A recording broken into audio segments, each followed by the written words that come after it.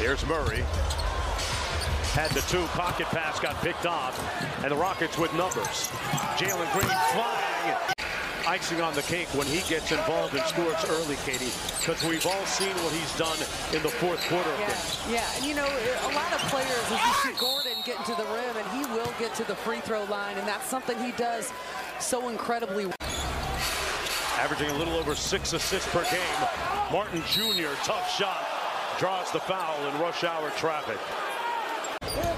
Kris likes to brag that he's a better defender than his older brother, but it is what it is. As for shooting, well, Keegan almost wrote a nice story there. Barnes with the offensive rebound. Three on the shot clock. Nice pass. One more is picked off. Almost a little too selfless. On a three on two, Matthews from downtown. Three-point ball game after the free throw. Tate inside, threw it away. Barnes in transition with Murray. Took it all the way in, counted, and won. Said that he loves the way that Mike Brown is coaching him with tough love. Just like Dad did, just like Fran McCaffrey did.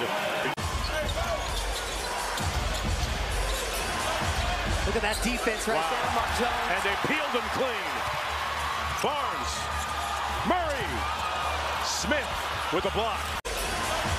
Look at that defense right Wow. there, Mark Jones. And they peeled him clean. Barnes, Murray, Smith with a block. With Fox kicks it out to Sabonis, a wide open three. Murray with the offensive board. Sabonis kicks it out to Sabonis, a wide open three. Murray with the offensive board. Sabonis Another assistant coach for the Rockets. He's a very good mid-range scorer as well. Well, he's made all three of his triples here Yeah. tonight, but he attempted 12 the other night. There's a triple for him. Yeah. yeah. Martin Jr. up to Jae'Sean Tate. Out to Jabari Smith. Dumped it off in traffic. Good resistance by Sacramento. Davis on the move. Da- Up by eight. Under three minutes to go. Green pulls again. And Sabonis will bring it into the front court. He's been much more selective with his shot, though, tonight than he was Wednesday. Oh, Murray caught one. A little payback over Smith. CJ McCollum still comes in Yes. here with kind of, you know, a little payback retribution that guys remember for a long time. Murray missing from downtown. So he's kind of feeling himself Yeah, a bit. Let's halfway to a 50 ball right let's now. see if he can cool it down a little bit here. His season high. So he's on pace to eclipse that right now. Sengun out top, a little delay set. Green off the handoff, gives it back. Shengun, whistle, foul, count it.